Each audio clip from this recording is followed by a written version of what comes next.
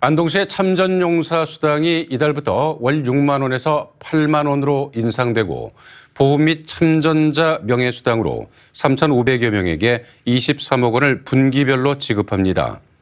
또 독립유공자 유족 의료비를 50만 원에서 연간 200만 원으로 지원하고 현충일 행사를 비롯한 보훈 행사 개최와 보훈 안보단체 운영비 및 전적지 답사비도 지원됩니다.